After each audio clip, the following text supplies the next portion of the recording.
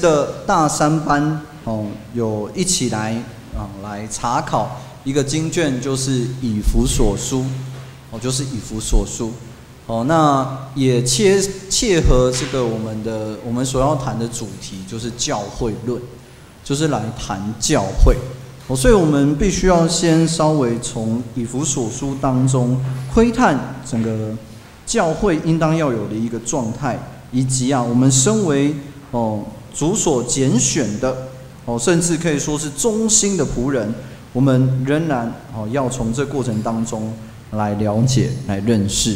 那因为哦要在要在四十分钟之内来讲完以弗所书六章，我基本上非常困难呐哦，所以小弟会比较着重在前面的三章哦。为什么会这样说呢？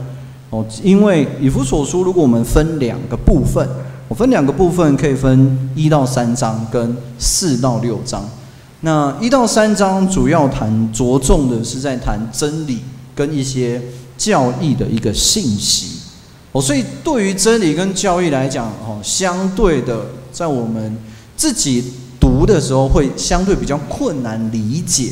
哦，所以我们就嗯比较多时间来琢磨在这里一起来学习。那当然哦，小弟也希望真的六章也能也都能够哦，稍略略的来谈过。好，那至于以弗所书的这些哦背景啊那些哦，因为时间关系，小弟就不谈。我们着重在这个经文当中。那也因为我们要比较快速的来哦来了解这个经文，所以哦在教训上哦在这个。勉励上也会稍显薄弱一点哦，主要着重在我们要来认识这个啊这个经卷哦。至于教训以及勉励，我们都会放在早晚祷的时候，我们再一起好好的来学习啊，一起来好好的来领受。那我们可以看到啊，课本的第一第一页哦，课本第一页啊。当然，如果我们没有课本，我们就是看以弗所书。我们来看以弗所书。那虽然不谈背景，但是有一有一个好背景是一定要谈的。我们看以弗所书第一章第二节，以弗所书第一章第二节，然后第一节，哦，更正第一节，以弗所书第一章第一节，我们大家一起用国语念一次。第一节，请念：奉神旨意做基督耶稣使徒的保罗，写信给在以弗所的圣徒。就是在基督耶稣里有忠心的人，阿门。这个是以弗所书啊，保罗写给哦啊写信的对象。为什么要特别去谈到这一点？哦，这就是我们要去从后面的经文当中要去学习的部分。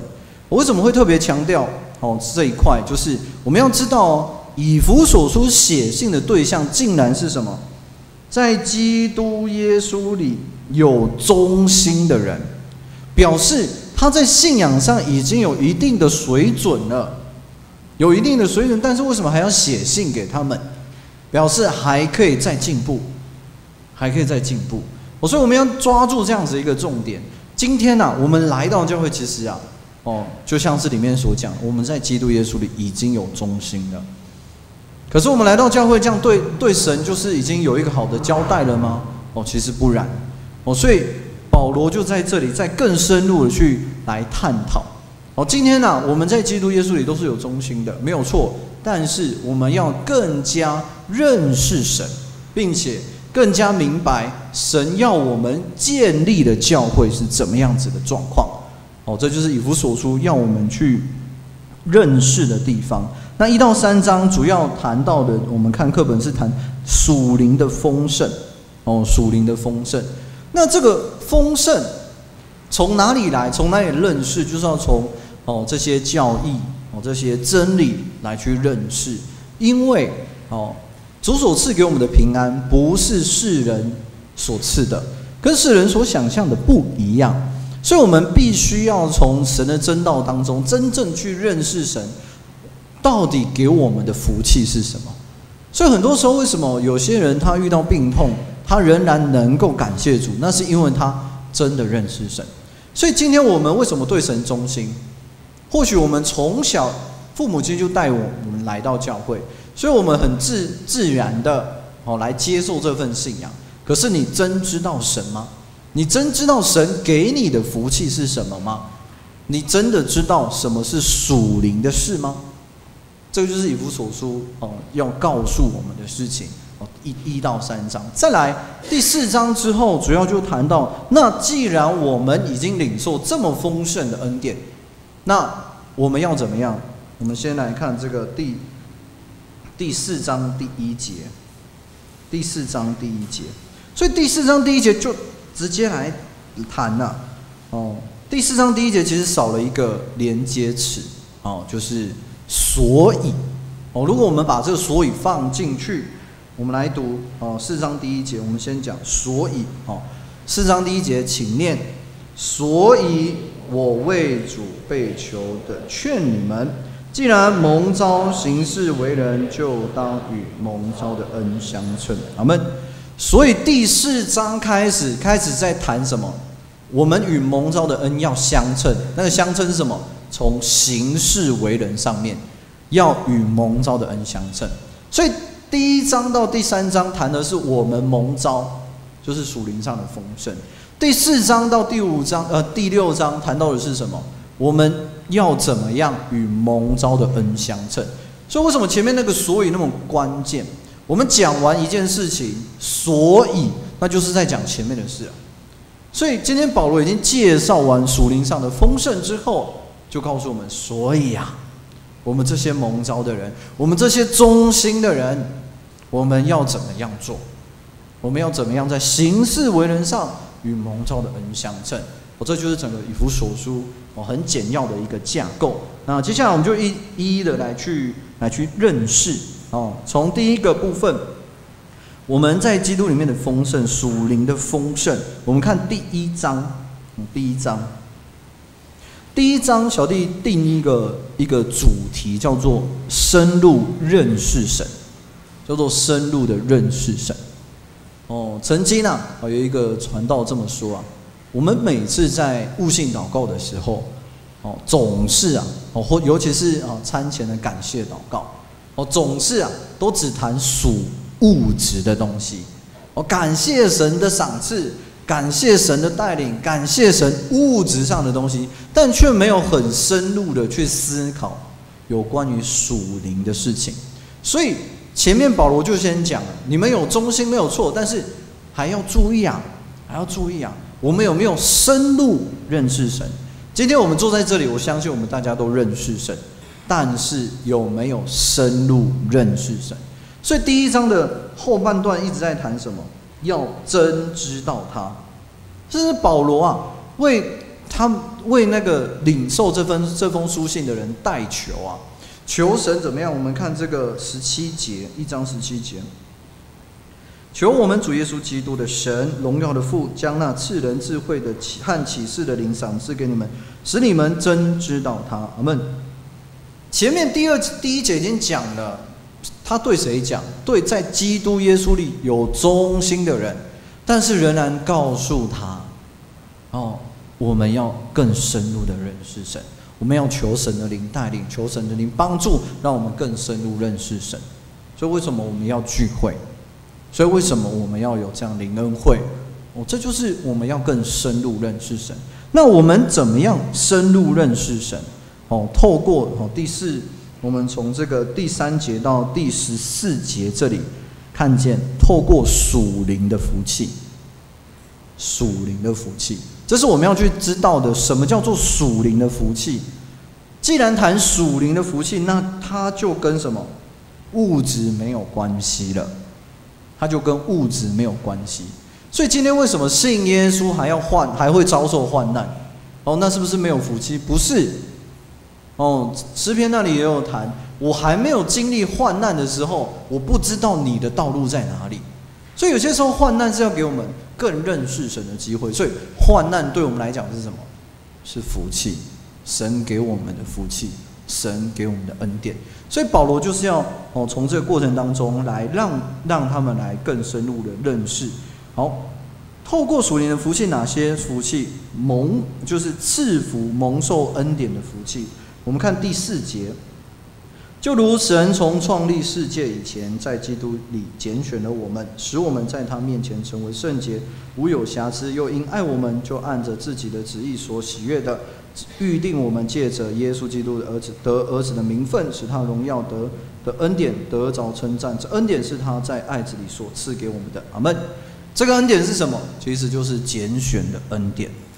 拣选的恩典，就是今天这么多人。这么多人，为什么只有我们坐在这里？全台湾大三的学生，升大三的学生这么多，为什么只有我们在这？因为是神的拣选。全世界这么几亿个人口，就只有这么一点我真教会的人，这是什么？神的恩典。所以今天我们有没有感觉到，今天我们坐在这里就是福气？有些说又要受受管束，又要哦怎么样怎么样？哦，这就是我们值得我们去思考。所以我们要知道，第一个属灵的福气是什么？拣选的恩典，拣选的恩典，这就是神给我们的属灵的福气。我们被拣选了，被拣选了，而且拣选要做什么？拣选是当儿女的，不是拣选来当奴隶的，不是呢。所以第五节、第六节，神拣选我们做什么？他的儿女，这是多大的福气？这是多大的福气？我们所向往的那个明星，我们所向往的那个很很高贵的人士，今天他跟我们讲说：“哎，你做我的儿女，这是多大的福气！更何况是那个创造宇宙万物的神，今天拣选了你们，拣选了我，说我我要做你们的父，而且是什么时候什么时候拣选的？在创造世界之前就已经先预定了。哎。”你们这些人是我要拣选的儿子、儿女，所以为什么一开始跟大家的问候是什么？主所爱的弟兄姐妹啊，我们都是主所爱的弟兄姐妹，所以这就是我们属灵的福气呀，属灵的福气。再来第二个哦，我们被拣选之后，那个还有什么样的福气？就是第七节到十二节哦，第七节到十二节就是有这个有这个盼望的福气。有这个盼望福气，因为能够怎么样得蒙救赎？第七节，我们借爱子的血得蒙救赎，过犯得以赦免。今天，今天为什么不认识神的人，他们是在黑暗当中？因为他们没有盼望，他们死就死了，而且要下地狱。那么今天为什么我们是光明的？我们是有盼望，活泼盼望，因为我们的罪被赦了，我们的罪被赦了，所以这是什么？这就是我们属灵上的福气。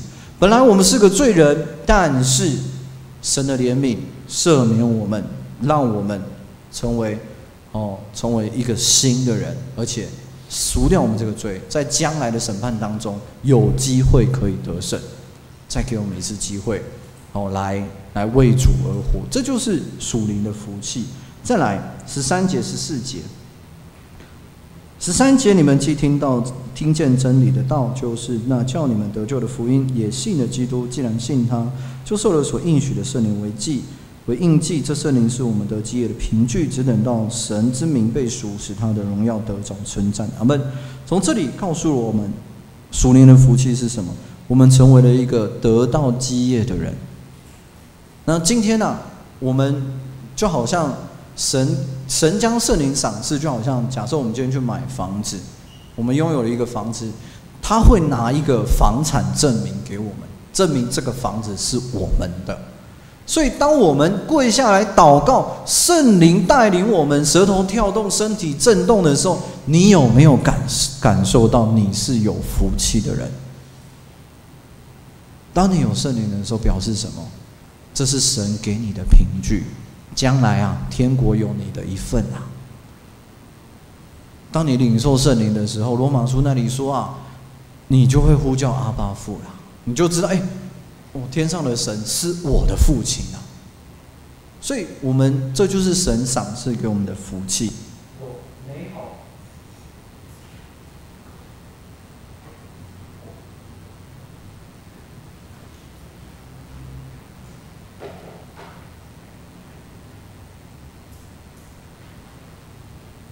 有美好的恩典，有美好的盼望，也有确实的根据。哦，所以这能够让我们真正的去体验到这是神给我们属灵的福气。再来，属灵上的真之道，真之道。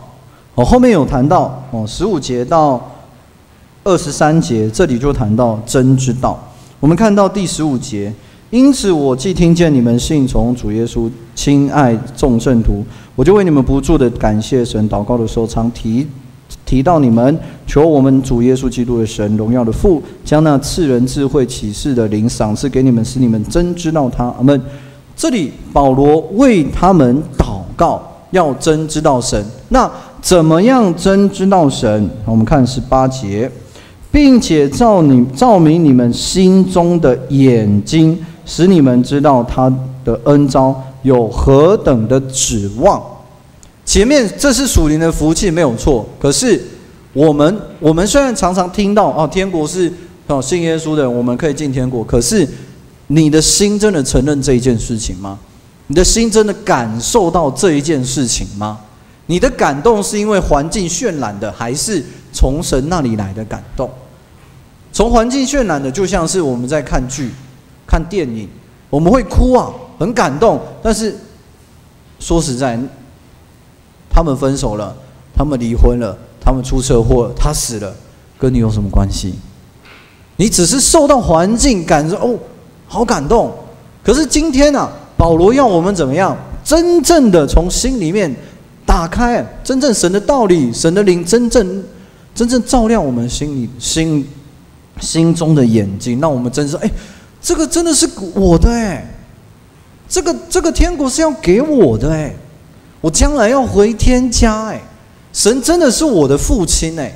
今天我们在信仰当中有没有这样的感受？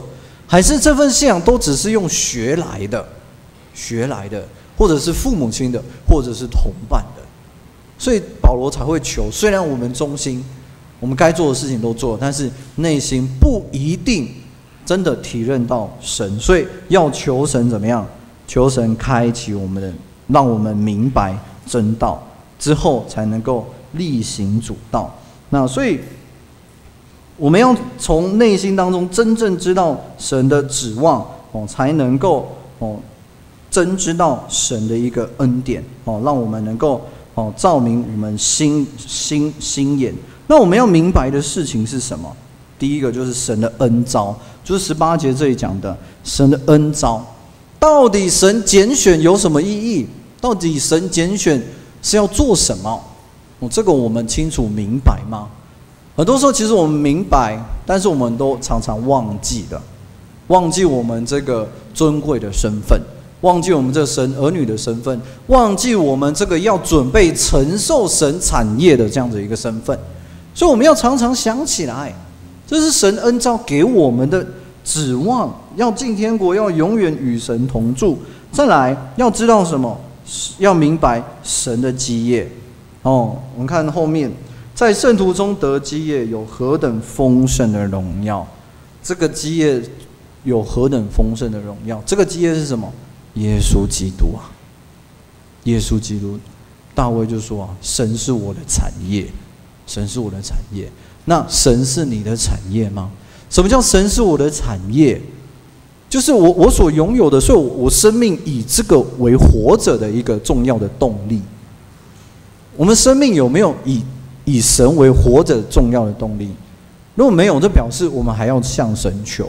虽然我们忠心，但是我们不够真正明白，成为神名下是何等荣耀的。再来，我们要我们要真知道什么？我们要真知道神的大能，神的大能。所以二十节这里说到。就是照他在基督身上所运行的大能大力，使他从死里复活，叫他在天上坐在自己的右边，远超过一切执政掌权的、有能的、主治的和一切有名的。不但是今世，连来世也都超过了。又将万有伏在他的脚下，成为使他成为使他为为教会做万有之首。教会是他的身体，那充满万有者的。哦，所以神的大能是什么？基督复活升天，让我们能够真正明白。哎。真的，神真的是哦，那一位哦，从天降下，人就在天的那一位神。再来，神的大能是什么？万有都要归顺耶稣基督，全部万有都要归顺耶稣基督。再来，哦，神要让教会，哦，基督是教会的元元首，教会的元首。所以有些时候我们在教会的服饰当中，有时候忘记了，忘记神才是那个元首，忘记神才是那个元首。所以，即便你可能服侍了五十年、六十年、七十年，一样，神是那个元首。你或许是，或许是很资深的长辈，但是你不是元首。所以，很多时候我们我们在教会的生活当中，慢慢的就忘记了啊，原来呀，要顺服神呐，天地万物所有掌权的都要顺服耶稣的，那更何况我们呢？哦，这就是。这就是保罗要我们去真知道神的地方。再来，我们看到第二个部分啊，第二章哦，所以第一章要告诉我们，透过属灵的福气，让我们真知道神。在第二章，我们在基督里的一个新的关系，我们在基督里的一个新的关系，谈两个部分。第一个是属灵的新生命，哦，属灵的新生命；第二个是属灵的新身份。哦，一个是生命，一个是身份。那属灵的新生命就是第一节到第十节，这里告诉了我们属灵的新生命。过去我们的灵命是怎么样？我们看第一节，你们死在过犯罪恶之中。我们本来是死在过犯罪恶之中。什么叫做死在过犯罪恶之中？看第二节，那时你们在其中行事为人，随从今世的风俗，顺服空中掌权者的首领，就是现今在悖逆之子心中运行的邪灵。所以，那空中掌权者是谁？不是指耶稣，不是指神，指的是在悖逆之子心中的那个邪灵，就是魔鬼，就是撒旦。所以，什么叫做活在死在过犯罪恶之中？因就是。你死了，表示你没有办法逃脱了，没有办法逃脱。那过死在过犯罪恶之中，就是行事为人，第一个顺从今世的风俗。我们看看我们现在是不是一直在顺应潮流？我这是指我们去行事的地方。如果如果整个明星在做什么，或者或者是媒体在做什么，你就在那里跟风啦，那你要小心啊！你不小心就怎么样？顺服那空中的掌权者，谁啊？就是那个在悖逆之子里面的那个什么邪灵啊，所以今天那个是属灵的征战。我们活着，我们就是在开始在做征战，就是所以后面才要需要什么全副军装嘛，你要装备好，你才能够胜过。所以当我们陷进去这个世界啊，你离不开这个世界，离不开手机的时候，表示什么？已经陷进去了，你怎么样？活在过犯罪恶之中？你有没有越滑手机？假设你今天滑手机滑了三个小时，你觉得你是满足的？举手。绝大部分是什么？充满着罪恶感。哎呀，浪费了三个小时。你明知道那是浪费时间，但是我们还是做了。顺服啊，顺服私欲，顺服情欲啊，这是我们过去的生命，死在过犯罪恶之中。那第四节，然而神既有丰富怜悯，因他的爱。呃，因他爱我们的大爱，哦，我们才能够怎么样？从第五节，我们当当我们死在过犯罪恶的时候，便叫我们与基督一同活过来。所以现在为现在我们应该有一个新生命，是活过来的生命。那是我自我们自己活过来的吗？不是，是因着什么？神的怜悯还有神的爱，我们才有机会。神的大爱基本上就是神的救赎啦。就是神差爱子赐下哦救赎我们哦，所以因着耶稣基督，我们才能够重新活过来。那这里有什么叫做与基督一同活过来？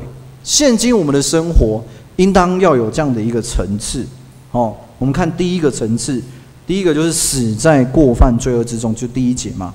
第二个层次，我们看第五节，当呃当我们死在过犯罪恶之中，便叫我们与。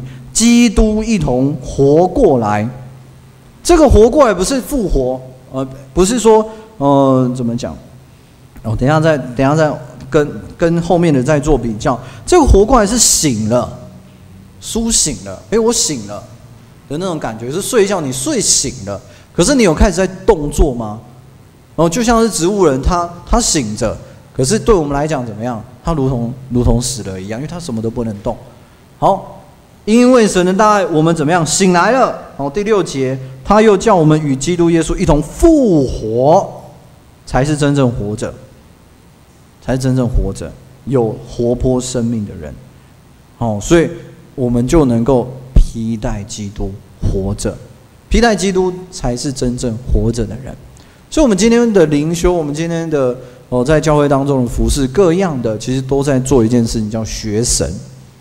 学习像神，哦，像神一样活着，像神一样活着。所以，当当有人去去在服饰上哦，稍微拒绝或者是跟神说请假的时候，那这个主耶稣就说啊，任凭死人去埋葬死人吧。因为虽然你虽然我们一样能够走，但是行如同行尸走肉一样。因为你没有靠着神真正活着，因为你的生命没有披戴基督活着。再来第四个阶段，我们看到一同复活之后，一同坐在天上，这叫做什么？安息呀，安息呀，过着属天的生活。这应该是我们新的生命要有的状态。所以今天我们安息到底有没有安息？领受到安息了吗？这值得我们去醒思哦。所以啊。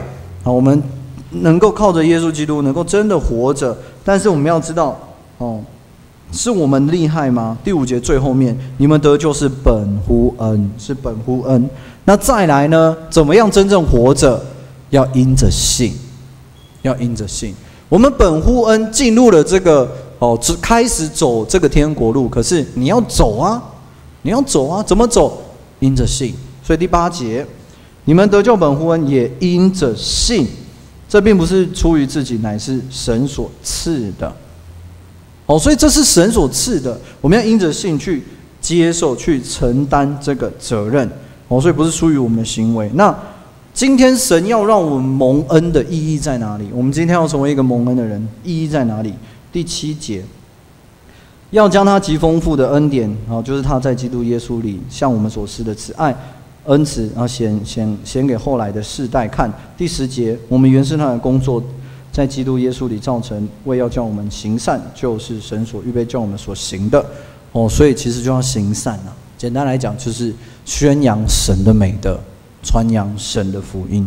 所以今天我们真正活着，如果你不去传福音，那其实不算真正的活着。因为今天神让你苏醒，就像以西结书那里所看见的，枯骨复苏，目的是什么？成为基督的精兵。可是今天我们已经复苏，我们醒来了，但是你却不传福音，却仍然过这个属地的生活，那你不是真正活着，你也不可能得享安息，不可能与主同坐在天上。这是我们要去醒思的。所以，虽然因为神的关系，因为认识。啊，浅呃粗浅的认识神，所以我们来到这里了，展现出我们对神的忠心。可是我们仍然要进步，仍然要进步。所以今天如果我们不愿意传福音，不敢去传福音，表示什么？你的灵命还没有真正的醒来，还不算真正的活着。因为主耶稣复活我们目的第十节，我们原是他的工作，神要我们去完成他想要。要我们去完成的事，你不去完成，表示你还没有真正被神复活，你还不愿意让神你让你的灵命能够真正苏醒起来。哦，所以我们真的要哦开始有那种福传福音的一个使命。再来，哦，这就是我们的一个新的生命，要行善的一个新生命，披戴基督的一个新生命。在第二个新的身份，就是十一节到最后面。新的身份，十一节到第十九节，哦，从前我们是怎么样？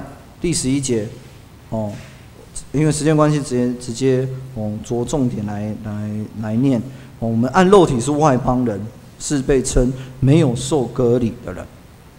哦，所以其实我们我们是外邦人，没有受割礼，不是神的选民，所以这份救恩八竿子打不着，我们根本没有资格领受这个救恩，与并且怎么样？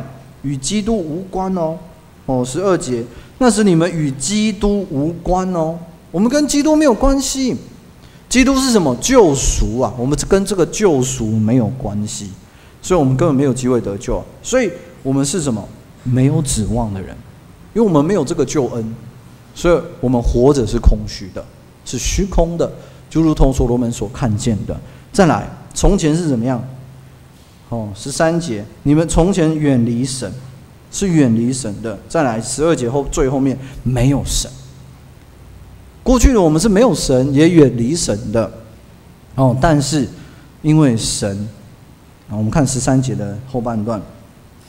如今却在耶稣基督里，靠着他的血得已经得已经得清净了。转变在哪里？成为一个新身份的转变在哪？靠着基督耶稣的血，现在变成什么？成为选民了，成为选民了。我们看到这个十四节啊，因他使我们和睦，将两下合为一，拆毁了中间隔断的墙。这中间隔断的墙是这种摩西的律法。这隔断的这中间隔断的墙就是什么？就是外邦人与与以色列人的关系。好，今天这墙拆毁了，就没有所谓的以色列人跟外邦人，就只有什么？属神的人跟死人而已。所以今天所有人都有机会成为神的选民，这是神借着他的保险拆掉了这个墙，哦，所以这是现在我们世人都能够有机会成为选民，只要我们能够哦愿意来相信神哦，来来遵行神的道理。再来十六节，过去我们是哦与基督无关，但是怎么样，我们跟基督有关系的。哦，记在十字架上面的元首，借着这十字架，便使两下合为一体，与神和好了。我们可以跟神和好。过去我们跟基督没有关系，关系破裂了。但是今天借着十字架与神和好。哦，再来十七节到十九节，我们成为什么？哦，成为神家里的人。我们不再是远离神、没有神的人，而是怎么样亲近神，而且是。成为神家里的人，十九节，这样你们不再做外人和客旅，是圣徒，是与圣徒同国，是神家里的人。这就是我们的一个新的身份，神家里的人。那后面保罗就补充了，神的家是什么？什么是神的家？就是二十节到二十二节，也就是教会了。哦，根基是什么？根基就是二十节，使徒和先知的根基，它是根基。哦，就是使徒的教训，从耶稣来的使徒的教训，从灵所带来的先知的教导。哦，所以哦，就是就是我们这一本圣经。再来，有耶基督耶稣为自己为房角石，主耶稣为房角石。哦，什么是房角石？就是你盖，现在已经没有这个这个工程了，没有这种工法了。以前会用一个最坚固的房角石当做一个角。然后从那里当做一个基准来出发，所以今天作为房角石的概念是什么？以基督耶稣为基准，以基督耶稣为标准。哦，所以教会是以基督耶稣为标准的，不是以哪一个长子传道负责人，不是哪只，不是以哪一个弟兄姐妹，是以基督耶稣为标准，这是神的家。然后再来二十一节，各房靠他联络的合适。渐渐成为主的圣殿，哦，所以所有的部件，哦，这个梁、这个墙怎么连接，全部都是主，都是耶稣，都是神。所以这个教会的连接一定要有神才能够有所连接，哦，有所连接，这就是神的家，这就是圣灵居住的地方。好，再来，好，第三章神的启示，哦，神的启示，神启示两件事情。第一件事情叫做基督的奥秘，第二件事情就是神的爱。第一件事情叫基督的奥秘，第二件事情叫神的爱。基督奥秘是什么？第一节到第十三节，我们要怎么去领受基督的奥秘？要哦，第一节到第五节，我们自己来看哈。从使徒的教训搭配圣灵的启示，并且要在基督里才能够来领受。所以，当他们看到保罗的书信，就知道，哎，他是有。他是有基督，他是知道奥秘的人。为什么？因为，所以我们今天要领受这个基督的奥秘，要从使徒的教训跟啊搭配圣灵的启示，并且在基督耶稣里才能够去领受这个奥秘。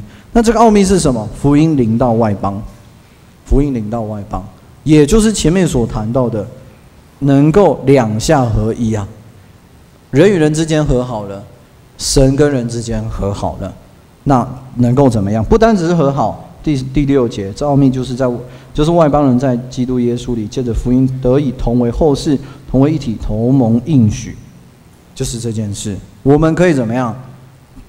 同为后世，同为一体，同盟应许了，不再只有以色列百姓，而是什么？全世界的人，世人都有机会哦，来成为神的选民。好，再来传递的方式，那这个这个奥秘怎么传？哦，第两件事情，第一个透过福音的指示，这里所指的就是保罗嘛，我是福音的指示，那我们也是福音的指示，领受圣灵的人都是福音的指示。再来透过教会。哦，透过教会第十节，为要借着教会使天上执政的掌权的得知神百般的智慧。哦，所以怎么传递？透过福音的知识跟教会。那神早就定好了这件这个事情，计划早就定好了。哦，早就定好。好，再来第第二个。哦，第二个从保罗的祷告当中，哦，也来去学习去领受基督的爱。领受的方式是什么？求神，我们看十四节。我们看十，直接看十六节。求他按着他丰盛的荣耀，借着他的灵，叫你们心里的力量刚强起来，使你们呃，使基督因你们的信住在你们心里。我们其实看到这边，求神给我，求神给我们力量刚强起来。刚强起来做什么？相信神，信靠神，遵行天父旨意。那基督就会看到我们的信怎么样？就会内住在我们心里。当神内住在我们心里，我们自然而然能够认识什么是爱。那自然而然，这个爱心就会有根有基。这个根基是什么？就是神的真道，就是神。所以今天那个爱不是学习谁的爱。我们看这世世界上整个媒体常常在分享啊，我的爱是什么？他的爱是什么？哦，你的看法是什么？他的看法是什么？尤其是现在的这个婚姻。尤其是现在的这个男女之间的关系，到底哪样是真正的爱？男跟男就没有真爱吗？哦，这就是没有根基嘛。所以当当门徒在问的时候，哎，问这个婚姻的问题，主耶稣怎么回答？回到最初啊，创世纪怎么写的？神当初怎么设立的？一男一女，一夫一妻啊。然后神带领啊，要在神面前呐，这不就是当初所立的吗？但是现在潮流的原因。我们灵，我们因为我们没有信心遵行神的旨意，所以怎么样？圣圣灵越来越薄弱了。那你还会知道爱心吗？所以为什么今天会嫁嫁娶外邦，会交交外邦的男女朋友？想想看啊，你跟神是不是越来越远了？因为什么？你没有信心遵行天父旨意。那神的灵怎么内住在你的心里？那你有什么力量能够像约瑟一样？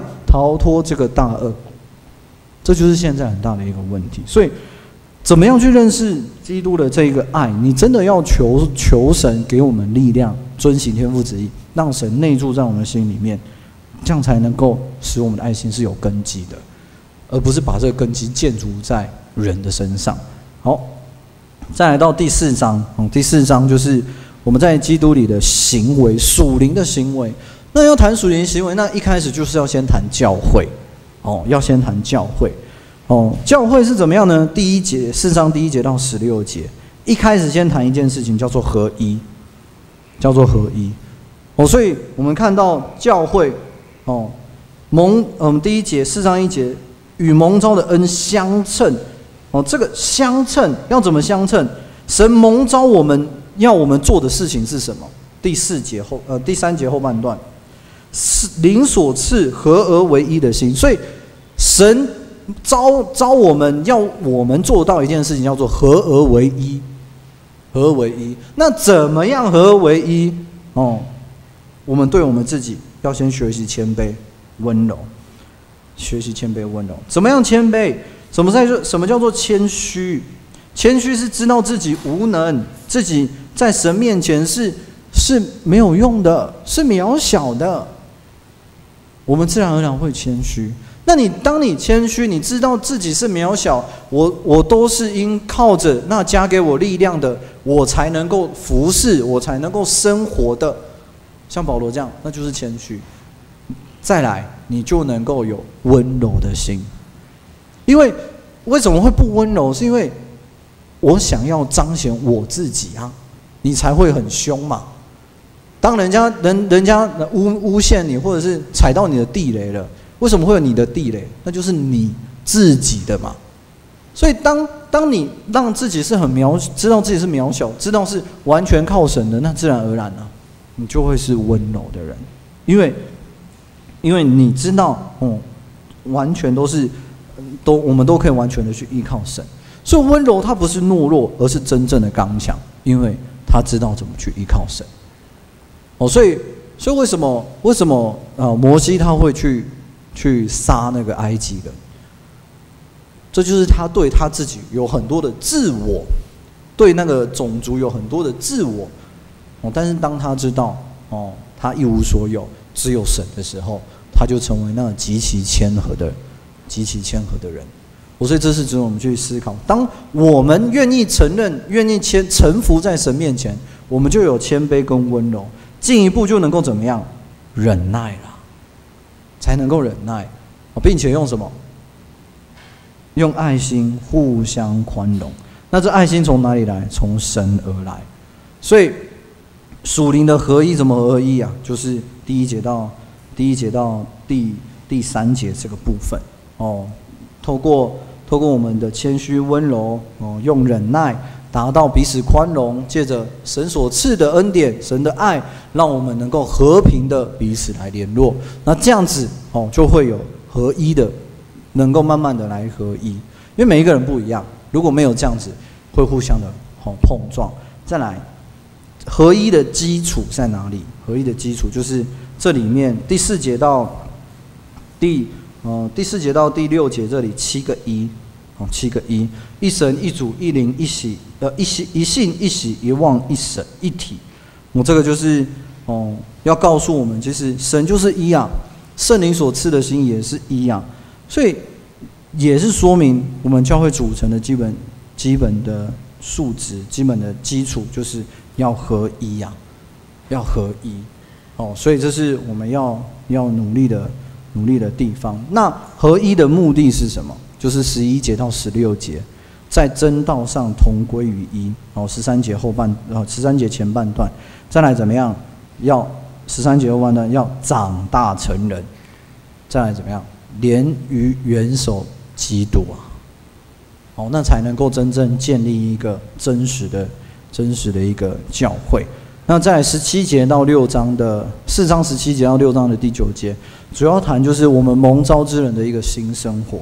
那十七节到二十四节谈的是新人的一个样式，我们不再活在黑暗当中，而是有基督这个榜样，我们可以去学习。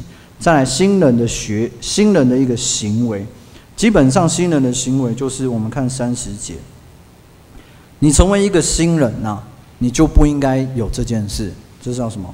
不要叫圣灵、神的灵担忧啊。你成为新人了，不要再让神的灵担忧。我这是基本的原则。在五章五章的第一节到十四节，就是我们要成为神的儿女。蒙召的人是成为神的儿女，蒙神的慈爱。神的慈爱是什么？基督为我们舍己，那我们怎么样？当为基督而活。再来，要结出光明的果子。怎么去结光明的果子？第一个，查验神的旨意。当你看，哎，知道神的旨意是这个了，再来怎么样行神所喜悦的事？在第三步，谨慎行事。哦，这就是我六节到二十一节，哦，啊，呃，十四、十五节到二十一节告诉我们的。再到二十二节到二十三节、三十三节，就是哦，从夫妻去谈基呃基督与教会，应该说从基基督与教会的关系去谈夫妻。哦，从基督与教会的关系去谈夫妻。不是尊卑的问题，不是大小的问题，是舍己的问题。你愿不愿意舍己？你愿不愿意顺服？哦，所以不是男尊女卑哦，我是在谈要不要舍己，愿不愿意，愿不愿意舍己，愿不愿意顺服。再来，哦，第六第六章一到四节谈到的是父母跟儿女，那父母跟儿女的关系怎么样？要建立在神的真道上。再来。哦，第五节到第九节，仆人跟主人的关系哦，仆人跟主人关系就是哦，不要因为从前面第五节，你们做仆人的要谨惧怕战战惊，用诚实的心听从你们肉身的主人，好像听从基督一般。要要要战惊，不要觉得哦，我是神的儿女，我干嘛听你的？哦，不是，你在肉身是哦是哦是有哪一个主人，你就应该要去顺服。我当然要在合乎真理之下。我再来第三个部分哦，就是蒙召之人的征战。蒙召之人征战，就是第十节到哦二十节这里，好这些征战。哦，所以保罗说，我还有末了的话，就是我们我们会有征战的，我们会有征战的。所以要怎么样穿戴神所赐的全副军装？因为什么？魔鬼有一大堆的诡计来来攻击我们，来阻挡我们。那重重点，这个全副军装有两个重点。第一个，神的道，圣灵的宝剑是什么？神的道。好，再来，要怎么样？后面就是要随时多方的祷告，传福音。哦，求神有口才，啊，求神开启他的心，哦，求神能够帮助。哦，所以穿上全副的军装，可能背不起来。当然，如果可以背，就背得起来。那如果背不起来，两件事情：神的道跟多多的多方的祷告，这就能够成为我们有力的军装，能够像但以理一样。在三个朝代当中都能够哦，都能够蒙神合神心意，也合人喜啊，也也蒙蒙人所喜悦哦，所以这是我们值得我们去学习。那最后啊，就是要哈写给我们要祝福的几一些话哦。以上哦就是以弗所书的哦，很很粗浅的一个哦导论哦。那后续我们如果有机会哦，也想再更深入了解。欢迎在下课的时间、读经的时间都能够哦来找传道神学生哦辅导大哥姐哦彼此来哦沟通，彼此来讨论，来认识更深入认识神，也能够好好的在早晚祷之前先把那个经卷哦那个章节先读哦。那我相信哦我们一定能够得到很多的造就，我更能够在这个末世当中我来发出光。我们一起唱赞美诗。